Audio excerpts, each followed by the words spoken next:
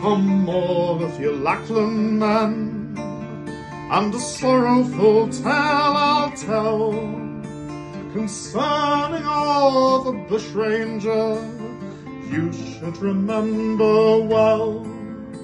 His name it was Ben Hall, a lad of high renown, who was hunted from his homestead like a dog shot down.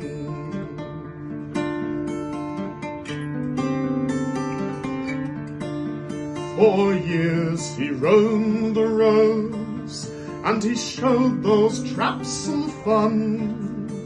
A thousand pounds lay on his head with Gilbert and John Dunn.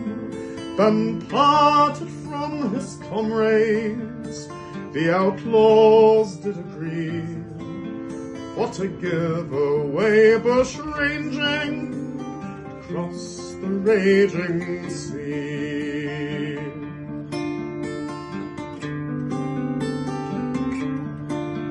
Ben went to Goobang Creek, yes, and that was his downfall, for riddled like a sieve was valiant Ben Hall.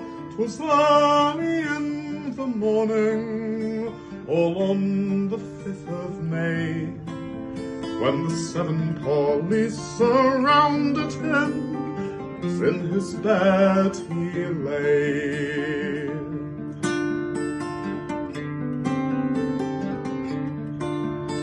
Billy Duncan, he was chosen to shoot the outlaw dead. The others fired madly as though they were afraid. Then they wrapped him in a blanket and strapped him to his crowd. And they dragged him through the streets of Forbes to show the prize they had.